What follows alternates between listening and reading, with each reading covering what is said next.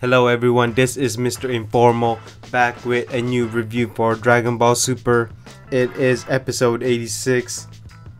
This episode, all I can say is one of those episodes once you watch it, you are satisfied with it, you're done, you want to move on, but there's still part of you that may want to replay it or rewatch it on certain scenes and this one of those episodes this episode is just that. I'm giving you my conclusion right now. This episode is great.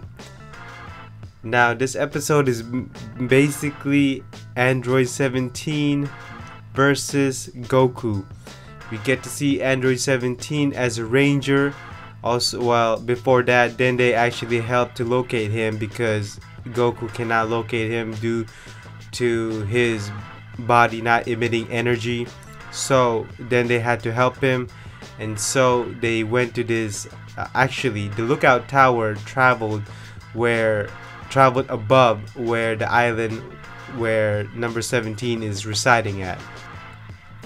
Anyways so android 17 and goku basically team up to get these to stop these poachers. I'm not even sure of these poachers because they look like an army. They look like they're about to take over a country.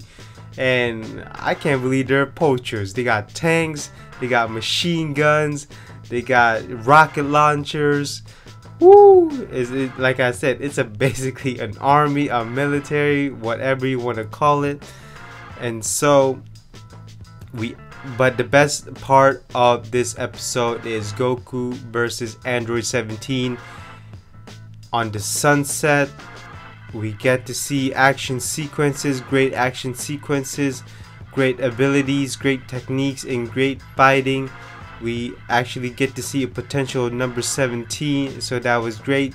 You know he's going to be strong we don't know how strong because these two does not show it but from what we've seen then he could definitely be I mean he can definitely stand on his own that's for sure.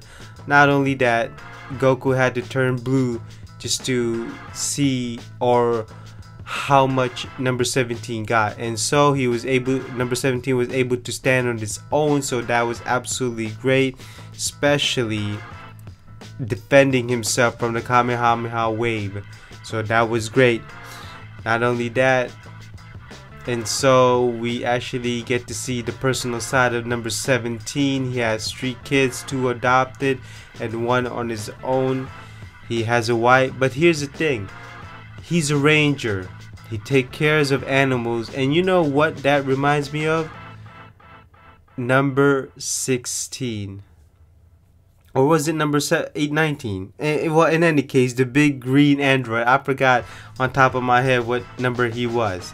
Anyways he loved nature and so maybe that's what that's where the inspiration came from that number 17 is doing his job to take care of creatures animals and so and so.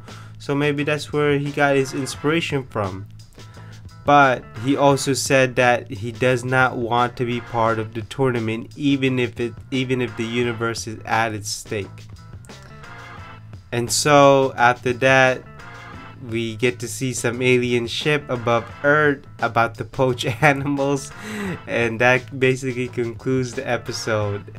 I guess the directors of dragon ball super is trying to make episode to give reasons for every character to join in.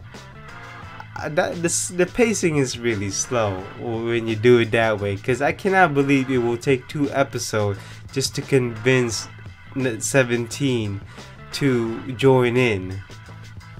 But I mean, we'll see how it goes. This is the same series that rushed the Trunks Saga arc, which I was not happy about.